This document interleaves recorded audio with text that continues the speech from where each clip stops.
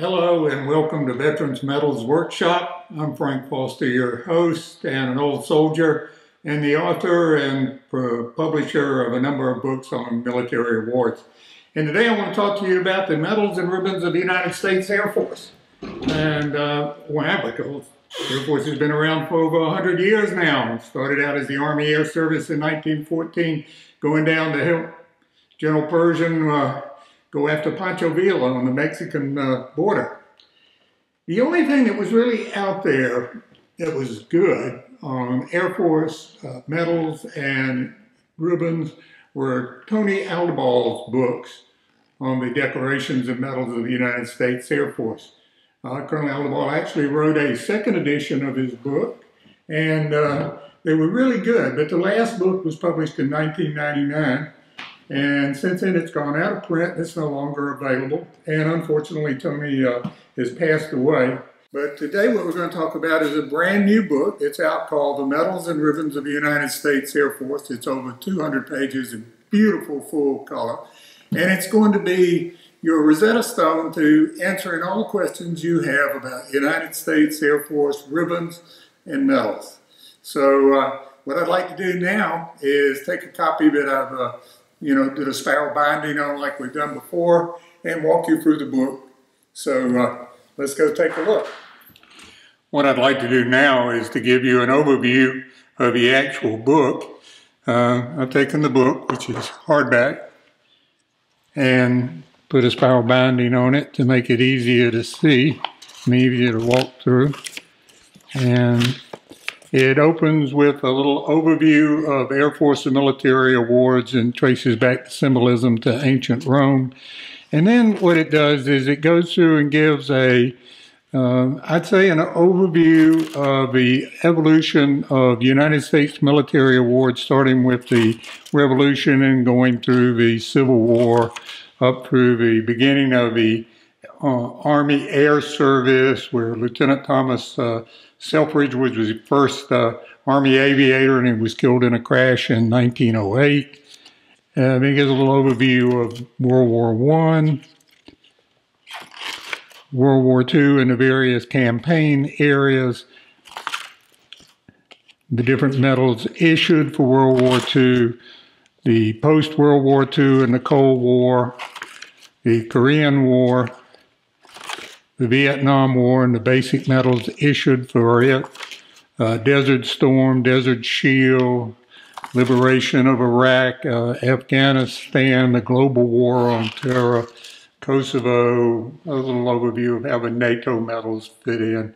And then it goes to explain the types of military medals and ribbons, the military medal variations, and then a really unique section of the book uh, lays out the various campaign medals that were awarded for each major conflict, for example, in World War II. And of course, here for the Army Air Force, it shows the Army Good Conduct Medal. And these are the basic campaign medals for Korea, Vietnam, Southwest Asia, Bosnia, Kosovo, Afghanistan, and the Iraq campaign medals um, that you would expect a veteran who served in those campaigns to have received. Oh really exceptionally neat presentation here is examples on how to display a veteran's medals. And it shows how you would use the patches, the pictures, um, the insignia, and how the medals would be presented, along with a nameplate. And it gives you the details on how to do that. And then it gets into very specific detail and says, okay, here's a World War II 8th Air Force display case. These are the insignia and the medals that you would expect to see the World War II rank. Here are all the patches of the Army Air Force. And this is particularly unique. For example, uh, this shows an um, air crewman, a bombardier, or an aerial gunner, actually, from the 9th Air Force that was shot down and was a prisoner of war, is a German Stalag ID tag, and his prisoner of war medal. Uh, another example case uh, in the Pacific Theater, Korean War, Vietnam, Vietnam pilot, Vietnam airman, the Cold War, Desert Storm, Desert Shield, uh, Afghanistan, Iraq. It also goes into very good detail on how you can claim your medals, say uh, your dad's medals or your grandfather's medals or even your own. Uh, if you don't have them all, especially if you served in Korea, and never got the new Korean service medal. Uh, now, what's really interesting, showing the variations of Air Force medals and then how the different medals and ribbons were worn on the different uniforms of World War II, Korea, and now today. There are examples of how active duty and reserves of the United States Air Force would wear their ribbons for male and female officers and non-commissioned officers to include how they would wear formal dress, the Miniature medals, uh, and how honor guards would wear the medals, and the fact that the honor guards are the only ones authorized the anodized medals. Uh, there's a good little section here on how uh, veterans or retirees can wear their medals afterwards. Uh, on formal occasions or just on a shirt sometimes. Higher history of Air Force ribbons, medals, and awards is shown here, starting with the Medal of Honor and it traces every military medal and ribbon awarded in the Air Force to include those from the United Nations and NATO, as well as uh, the more commonly awarded foreign medals.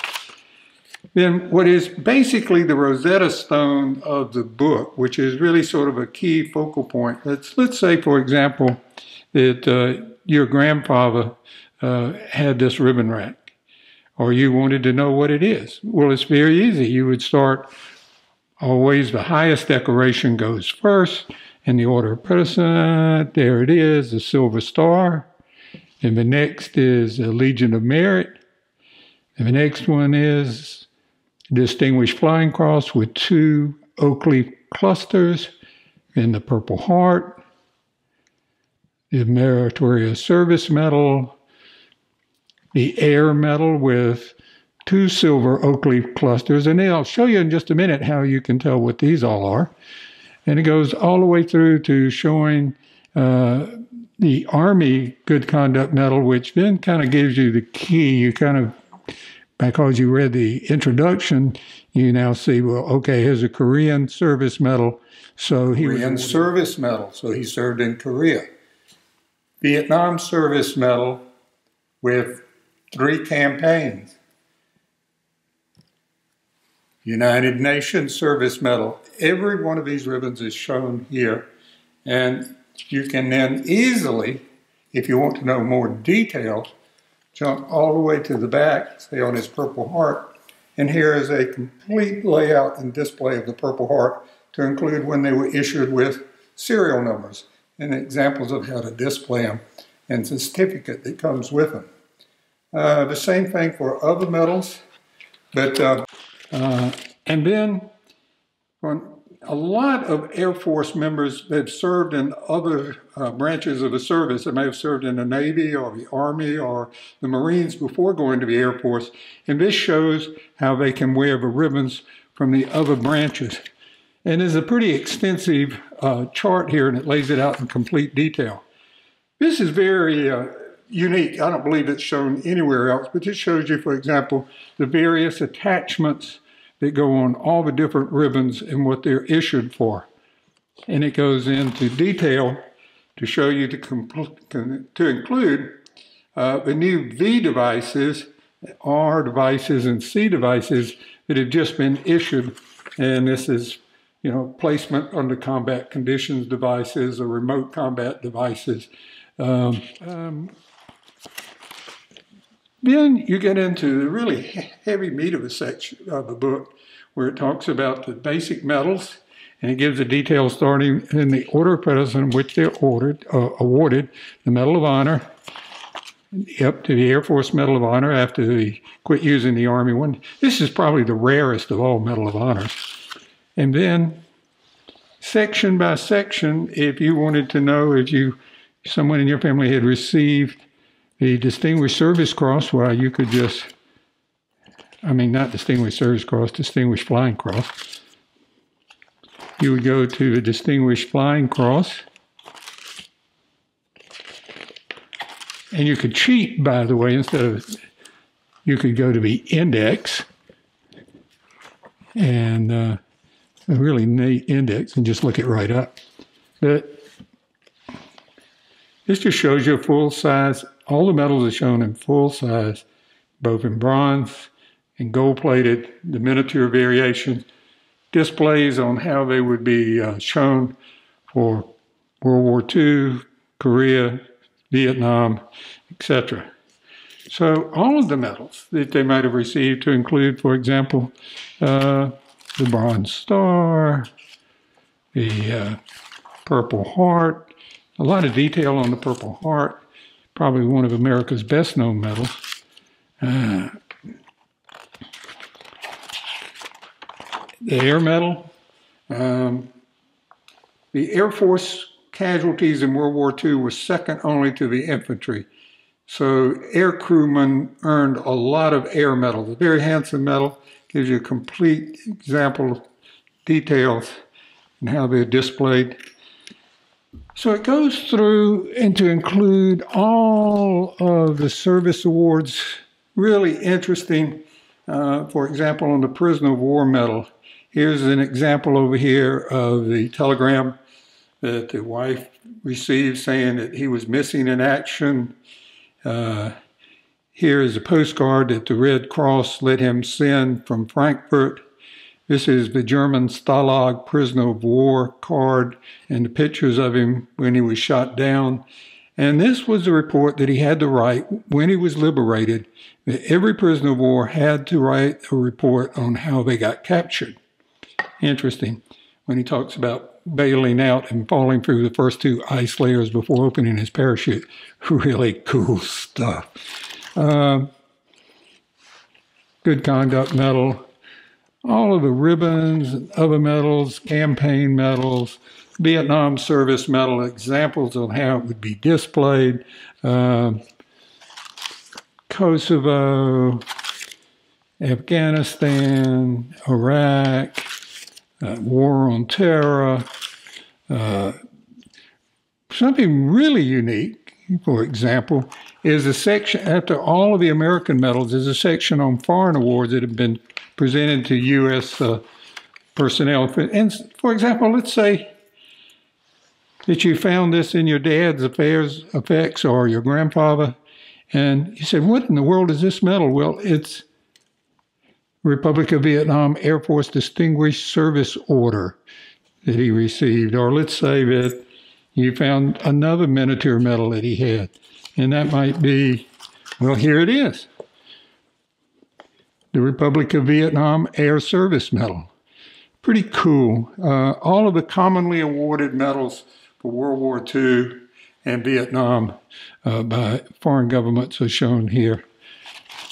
All of the United Nations ribbons that are authorized are shown here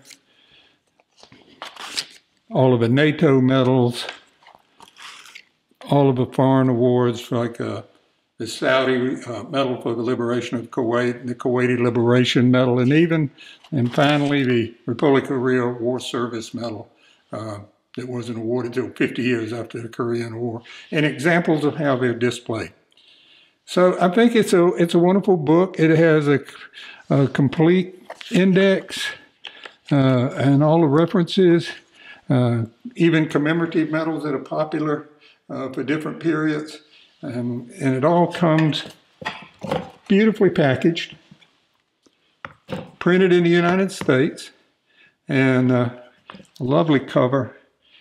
Almost 200 pages, all in color, absolutely heavy duty paper. Uh, I don't think it could be done nicer. $29.95, uh, probably one of the best book buys around. So I hope you've enjoyed this and uh, let me know if you have any questions.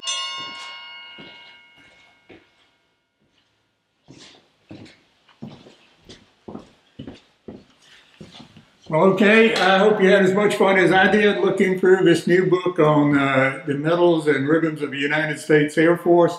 I think you'll find it uh, a very encouraging reference or just a complete guide to all of the medals and ribbons of the Air Force. And uh, you know, all you got to do is check out the Medals of America Press website, or you can go on Amazon, and uh, it's on Amazon Prime, so you can get it shipped to you free. And on certain holidays and Veterans Day, uh, I even sometimes cut the price for a few days. So keep your eye out. Anyway, thanks for watching. If you enjoyed the show, give us a like. Uh, if not, just go buy a book. And if you can't afford the book, go to your librarian and tell her she needs to order it. Thank you. oh, these things are fun.